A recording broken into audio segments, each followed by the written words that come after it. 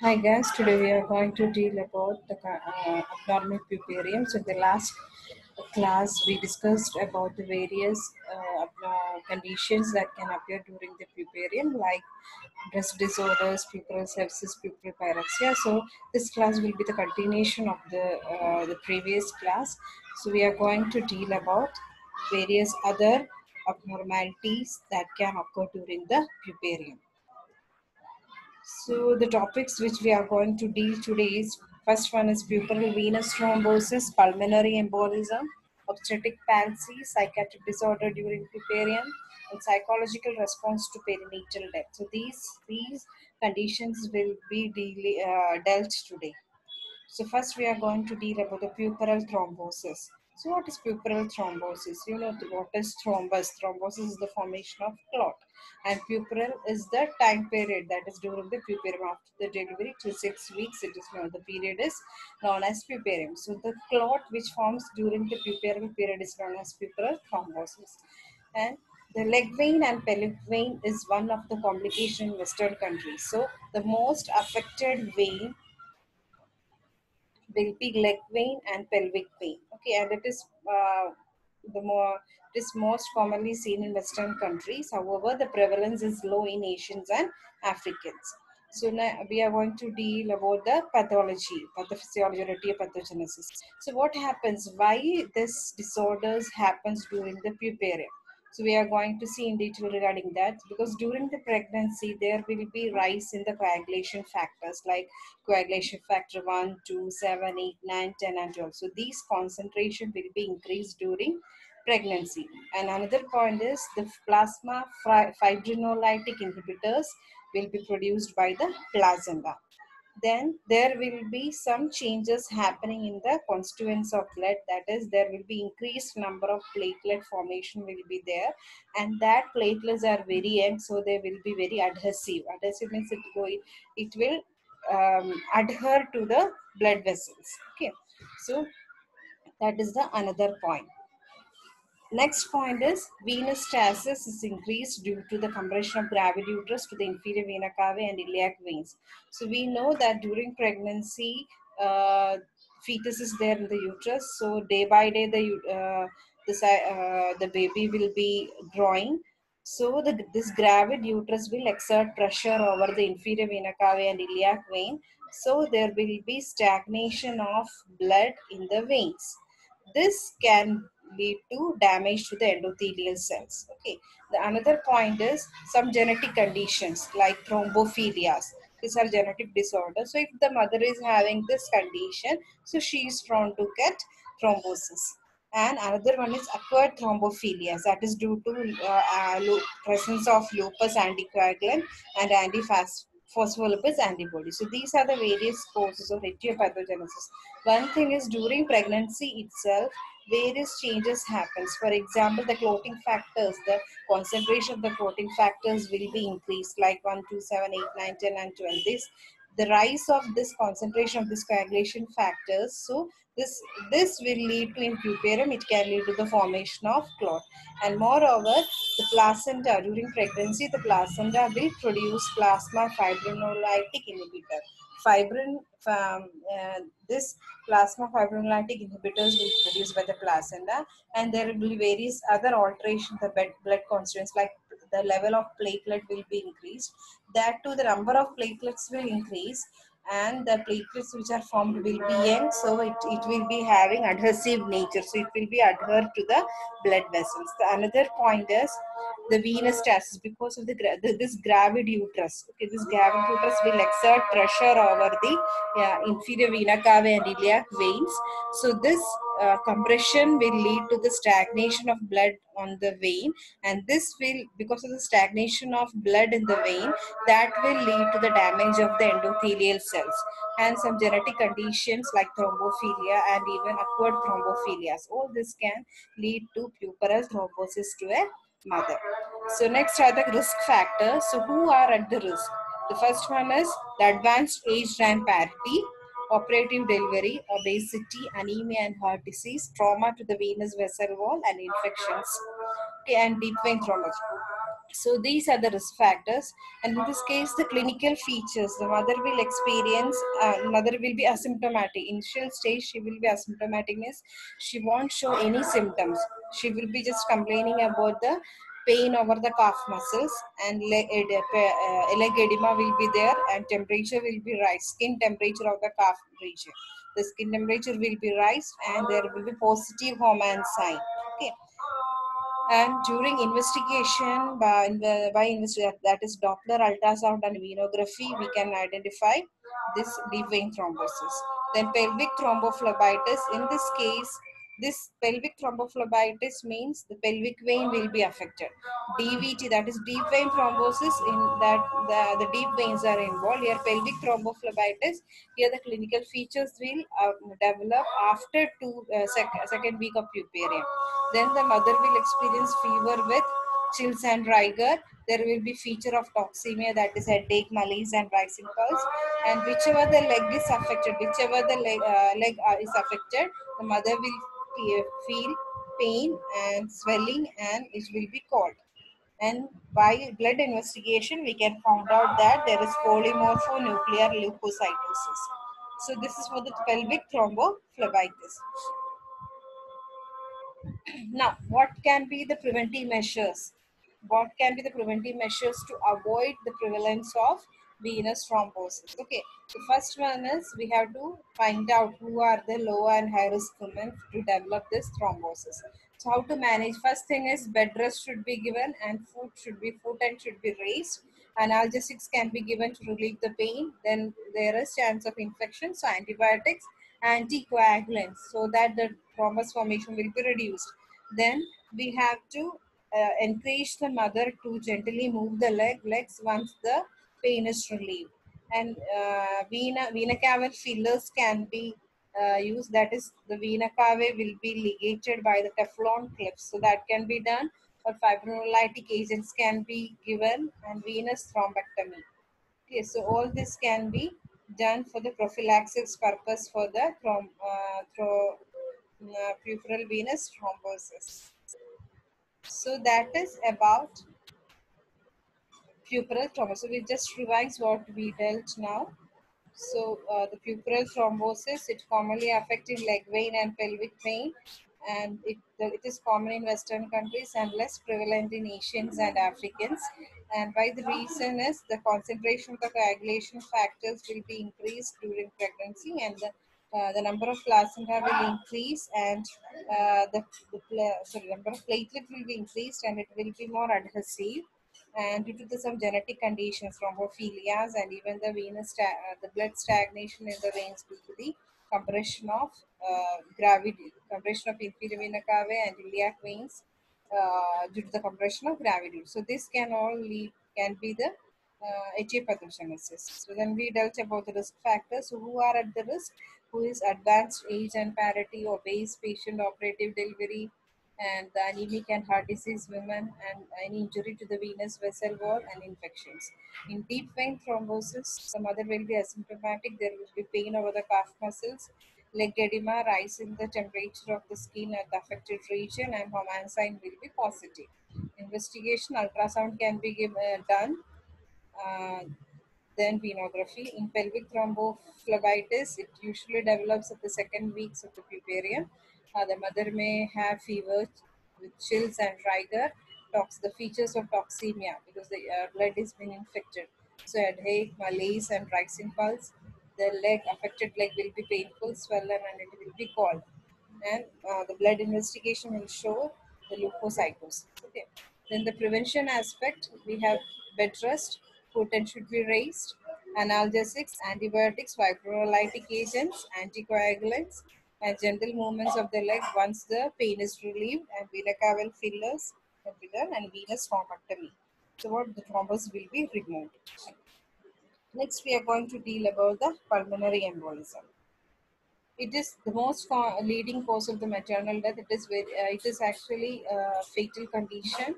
So here you can, by the name itself, we can identify that it is embolism, means the uh, thrombus the formed thrombus, moving clot is known as emboli. So that embolia, when it reaches the pulmonary circulation, that will lead to pulmonary embolism. Okay. So because of decline of maternal mortality due to hemorrhage, hypertension, and sepsis, pulmonary embolism can. And death occurs within short time from shock and vagal inhibition. Pulmonary embolism due to shock and vagal in- inhibition. That is, it will be a, a- uh, it will inhibit the vagus nerve. So that due to this two condition, the death of woman can happen. The clinical feature is sudden collapse, acute chest pain, air hunger. There are classical symptoms for the massive pulmonary embolism, tachypnea, dyspnea, pleuritic chest pain, cough, tachycardia, hemoptysis, rise in temperature above 37 degrees Celsius. So, as the uh, as the name indicates, that is pulmonary embolism. So lungs will be affected. Okay, pulmonary circulation will be altered. So all the respiratory symptoms will be exhibited by the patient, and uh, it is very severe condition. The patient can go to sudden collapse. The diagnosis is chest X-ray. And then uh, we have to rule out pneumonia, atelectasis, that is collapse of the lung, and ECG has to be taken. Doppler ultrasound should be taken. The, even the lung scan can be done, MRI can be done, pulmonary angiography. The treatment is, as we said, that the patient can collapse, so the resuscitation is the one important thing. Then IV fluid support should be given. Thrombolytic therapy should be given, digitalis, and recurrent attack can happen. So, to if there is recurrent attacks, embolectomy, the embolus should be removed. Embolectomy has to be done. So next is obstetric palsies. The commonest form of palsy that encounters in, in puerperium is foot drop. I think you have heard about foot drop. So it is usually unilateral. Maybe one limb, lower limb may be uh, affected, or in some uh, and appears, and it usually appears after, shortly after the day, foot drop. Okay, it, it is usually unilateral. Means one leg will be affected, and the causes are because of the stretching of the lumbosacral trunk by the collapse intervertebral disc between lumbar 5 and sacrum 1. So what happened during the delivery, there the, the stretch, due to the delivery, there will be stretching of the lumbosacral trunk and even a prolapsed intervertebral disc that is L5 between L5 and S1 the intervertebral disc will be collapsed that can lead to palsy. And even during labor we know that the sacrum will be uh, def- deflexed. So your backward rotation of the sacrum can lead to palsies. Then even the direct pressure by the fetal head or by the forceps blade on the lumbosacral cord that can also lead to obstetric palsies. So clinical features is asymptomatic, then flaccid, uh, flaccidity and wasting of muscles and loss of sensation. These are the clinical features. Management is bed rest for six weeks. A splint is to be applied to prevent the damage of overstretched muscle, massage and electric stimulation of the muscle. So bed rest for the six weeks and splint should be avoided to prevent the stretch damage to the overstretched muscles. Once the muscle is stretched, we should not um, uh, further damage should not happen. To avoid that, a splint has to be applied. Massage can be given, electric stimulation of the muscles can be given. That's the management for the obstetric palsies.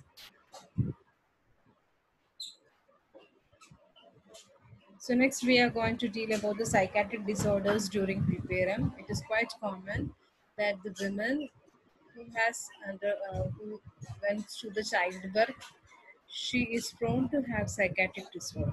Okay, so we will, we are going to deal about that. So it is quite common. The first three months after delivery, the incident rate is very high, and overall incidence is 15 to 20 percentage.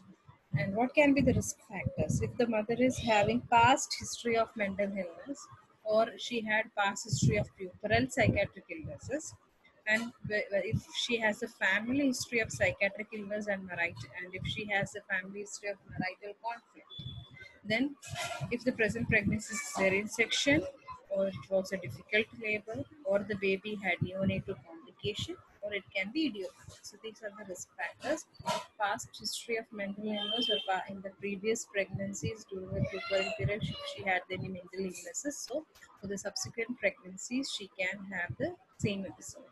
And if the mother in the family history, if there is some any psychiatric illnesses or she had marital conflicts or the pregnancy, the cesarean section has happened or difficult labor or the baby had some complications these can all they um, these all this sort of mother can exhibit psychiatric disorders during puberty so first one is puerperal blues. It is quite common. So the definition is it is it is transient state of mental illness observed four to five days after delivery and it lasts for few days. So what is the definition?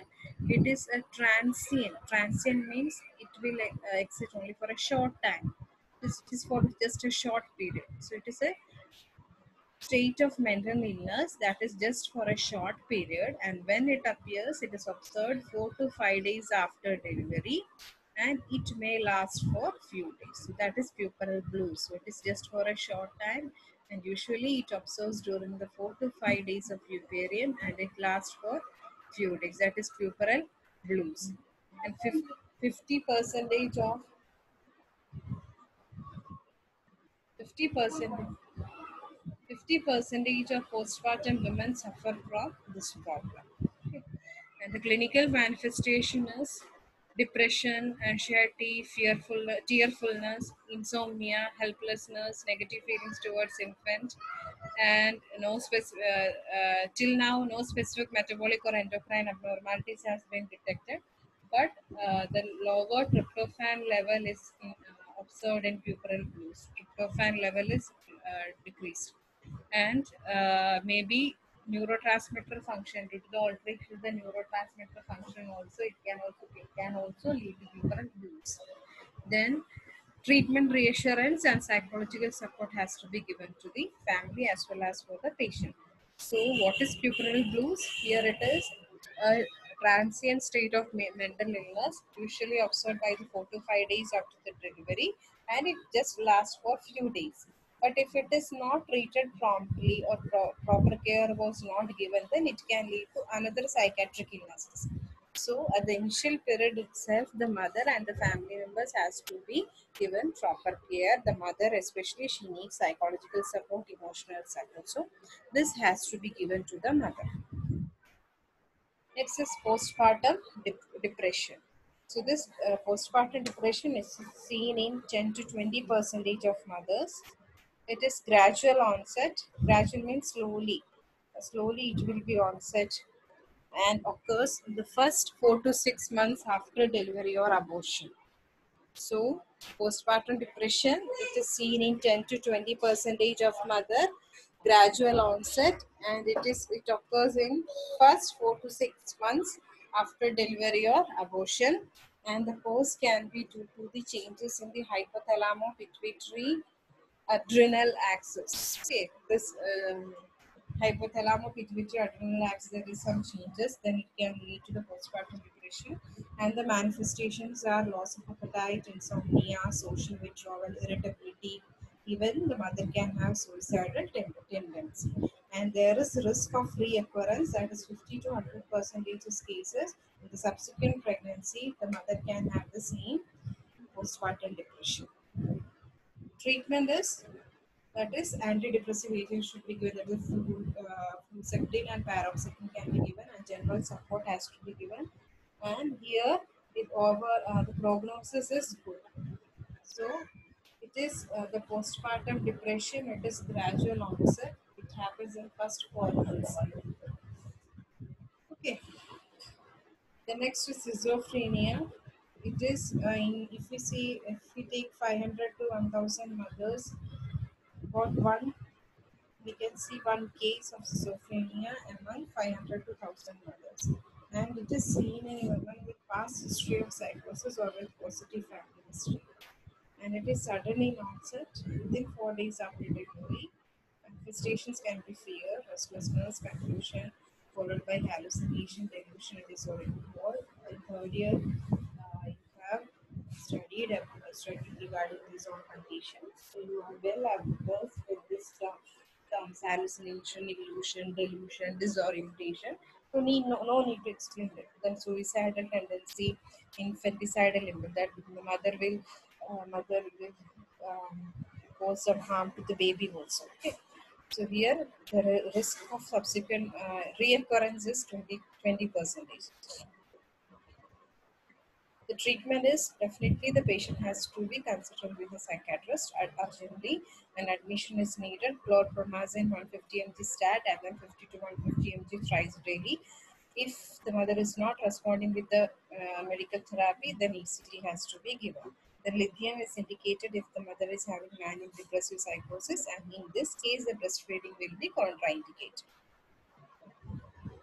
Next, psychological response to perinatal death. If the feet, uh, the baby has died, okay, in that cases, actually the perinatal events are joyful, but when the death happens, special attention, attention has to be given to the grieving patient and their family because a death has happened. They were the entire pregnancy time she uh, uh, she was expect uh, she was expecting a baby but suddenly all her dreams it could not come uh, come true. Some mishap has happened and the baby has died. So special attention has to be given to the patient as well as to the family members.